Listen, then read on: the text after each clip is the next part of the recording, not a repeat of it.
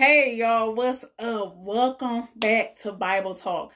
Bible Talk is all about you, you, you, the uncensored, uncut, uncomfortable truth through the word of God. Let's go in and pray. Father God, in the name of Jesus, we just thank you today. Oh, we are here, oh God, to hear what you have to say. Speak. We will decrease as you increase, oh God. In your mighty name, we pray. Amen. Hey, y'all, Happy New Year. It is 2021, and we are going back like never before. This is the year of no excuses. Holy Spirit said, This is the year of no excuses. He said, We did a lot of tiptoeing last year, we did a lot of covering up, a lot of disguising. He said, But this year, this year, you will know this year you will know the truth. He said it's no, it's not going to be any more, oh, this and that. I oh, I didn't know. He said, No, you will know the truth. That's what he said. He said, This is the year of no excuses. We must get attached. And I was going to do perfect vision, perfect vision this year. And God said, No, no, no, no, no. My people can't get vision unless they are attached to the true vine they must be attached. God said we must get in line with the vine. We must get in line with the vine. So the order of this year will be being attached to the vine and then getting vision. No excuses. Let me explain. In John 15 and 1, in the NIV, it says, I am the true vine, and my father is the gardener. He cuts off every branch in me that bears no fruit. While every branch that does bear fruit, he prunes, so he squeezes it. He cuts things off. He wants to extract some things from out of us that is not like him. So this is why we go through certain tests and trials because God says, I'm pruning you. I have to remove some things. He said, I do that so that it will be even more fruitful. Verse 3 You are already clean because of the word I have spoken to you. Now, this is Jesus talking. He said, I have spoken this word unto you. He said, Remain in me as I also remain in you. No branch, because we are branches. No branch, he is referring to us as a branch, can remain or bear fruit by itself. It must remain in the vine. Neither can you bear fruit unless you remain in me. I am the vine. Uh oh. Uh oh. He said, I am the vine, and you are the branches. If you remain in me and I in you, you will bear much fruit. Apart from me, you can do nothing. Apart from me, you can do nothing. If you do not remain in me, you are like a branch that is thrown away and withers. Such branches are picked up, thrown into the fire, and burnt. If you are not attached to the vine, you are picked up, thrown away, and burnt. Thrown in the fire. If you remain in me and my words remain in you, ask whatever you wish, and it will be done for you. This is to my glory that you bear much fruit, showing yourselves to be my disciples. See, see, because we are branches, God said that we must be attached to his vine. See, I want you to understand that our branches malfunction when they are detached from the vine. So detached from Christ, his commandments, his ways. Let me show you something. Here's a tree. I want to I want to give you something to look at. This is a plant. Okay, and this is Christ, the stem. And this is us, the leaves. We are supported by Christ. We are lifted up. We're able to bear fruit. We are able to grow leaves because we are attached to Christ. He said, if you're attached to me, then you'll be able to grow. This plant was this big when I first got it, but since it was attached to something supported, it was able to grow. It was able to bear many, many leaves. God said that's who we are. We are the leaves. He is the stem. See, I want you to understand that Christ is the true vine because I want you to understand not only does a vine grow because it has a stem, but it is rooted. It is rooted in the ground. It is solid. And God said we must get solid in Him today. I want you to understand that the vine has a supported stem, it climbs and it travels. So let me make it plain. Jesus supports, he climbs, and he travels. And the definition of a vine is, is that it must have a supported stem in order to grow. And the stem turns things into usable products. Jesus Christ turns things into usable products with the S. He changes things. He converts things if we are attached to him. Remember, Christ is the true vine because it starts from the root. And we're going to get to the root of some things today. We're going to get to the bottom of some things today. We are the branches. And I want you to I want you to see something because today the question is what and who are our branches attached to today? Think about that. What are your branches attached to today? Because see, you could be a branch off the tree. It's a million of them in my driveway. So you could be a branch off the tree or on the tree. Point number one what and who are our branches attached to? Point number two, because remember, we are the branches. The, the, the scriptures are referring to us as the branch, and God is the vine. Point number two is you can't be a successful branch off the source. You won't be successful if you're not attached to the tree. See, I want you to see something. Branches attached to the tree have a better chance of survival because it's attached to the source. So, so for instance, I have a branch here. And see, this branch was in my driveway. It wasn't attached to anything. I went to it. It, it, it wasn't a trouble to pick it up and do whatever I wanted to do with it. I, I actually ran over the branch. It was muddy. It was dirty. I had to dig through the snow to get it. It was easy for me to even grab.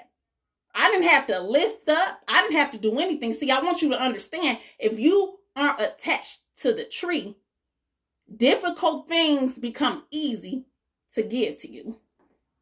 If you aren't attached, difficult things become easy to give to you. Point number three is when you aren't really connected to Christ, difficult things become easy to give to you.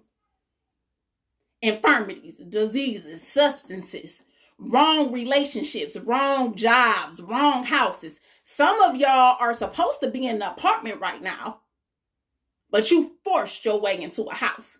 Because, see, God said, I was going to give you that house because I had a better job, a bigger job waiting for you down the future. But no, no, no. You forced your way into something I didn't even want to give to you.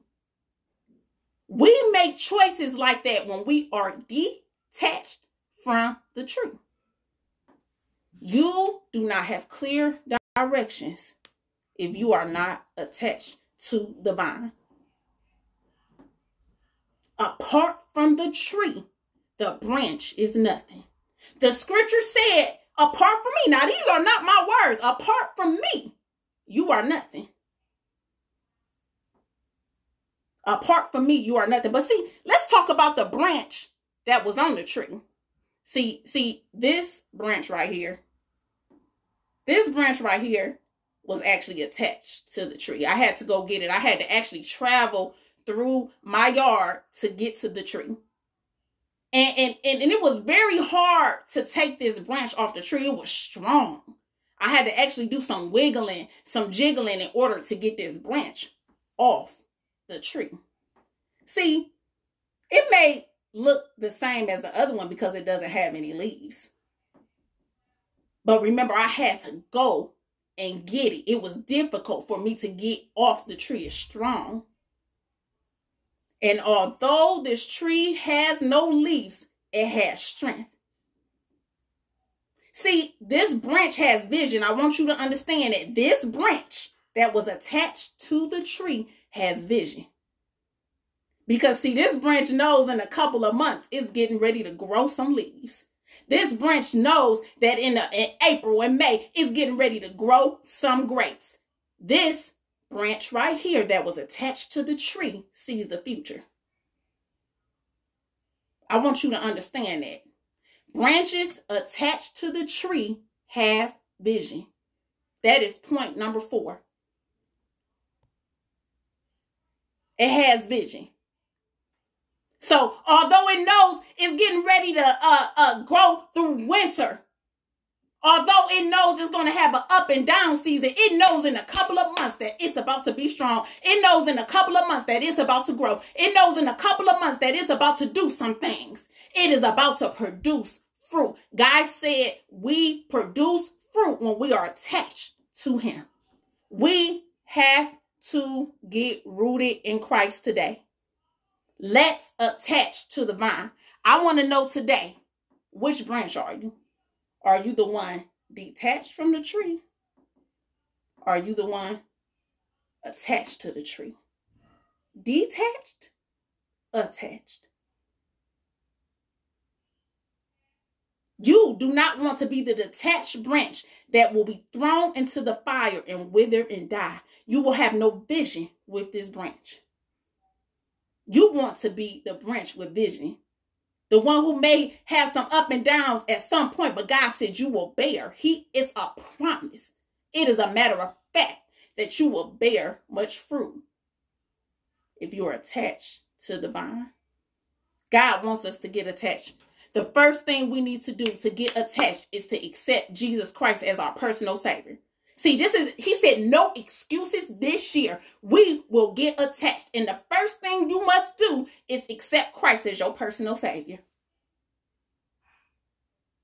Then the second thing you have to do after that, that is the start. After that, then you have to connect in prayer and in the word. I want to submit to you that if you have accepted Christ, but you do not pray and read your word, you are not a child of God. You are not attached to the vine. Sorry, I'm, I'm sorry for the misconception.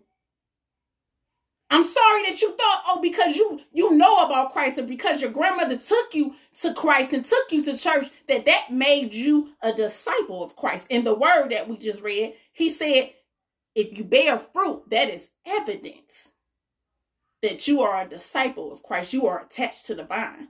If you have not accepted Christ, if you have not read your word consistently and prayed consistently every day, you are not building a relationship with Christ. See, we do this every single day with who we want to. We connect in different ways with people that we want to. When we want to hook up with Larry and Susie, we put effort into doing that. You have to push yourself to build a relationship with Christ, or you will not be attached to the vine. You will not have future.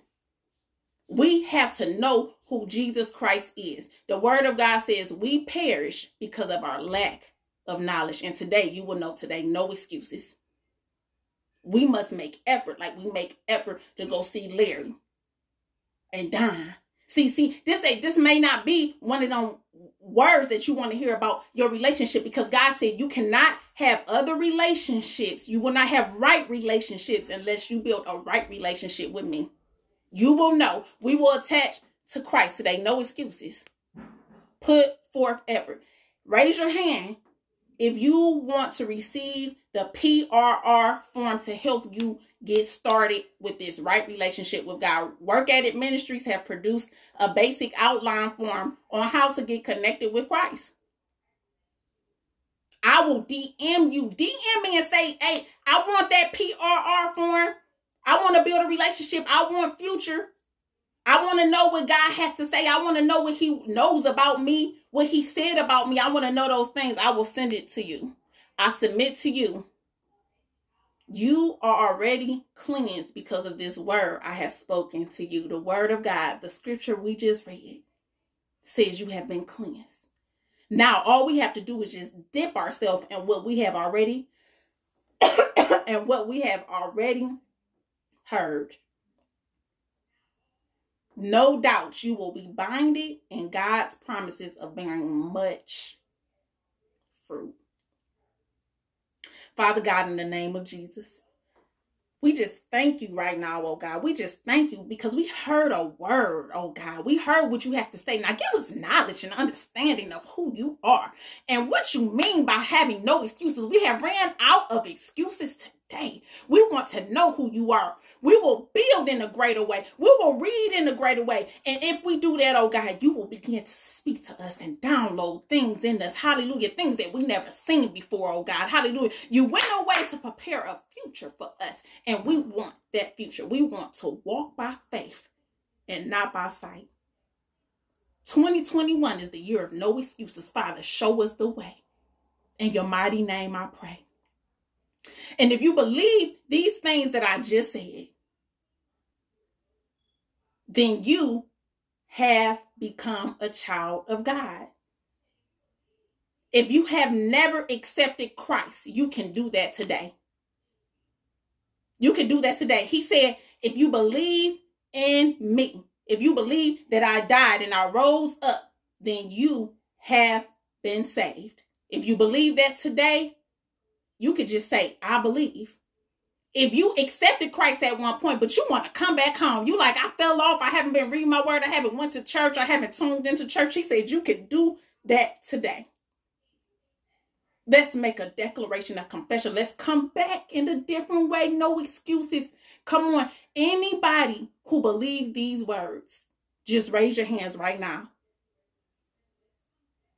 And if you want to become a child of God today, you can reinstate or you can accept the offer. If you believe that, just say, I believe. Say, I believe. Type at the bottom. Type at the bottom. I believe. Make a confession. It's confess with your mouth and believe in your heart that Jesus Christ was raised from the dead, then you are saved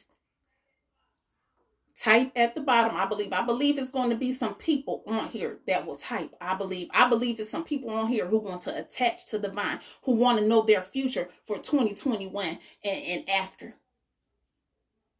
Attach to the vine today.